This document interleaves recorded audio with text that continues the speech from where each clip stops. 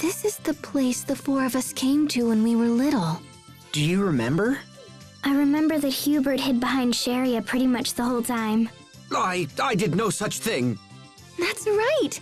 And then Asbel scared him and he peed. La la la! Huh? Come again? This is a private conversation. Just go away. you too? Look, it happens, all right? It happens to everyone in their childhood. Not me. Lies! How can you stand there and utter such lies like that?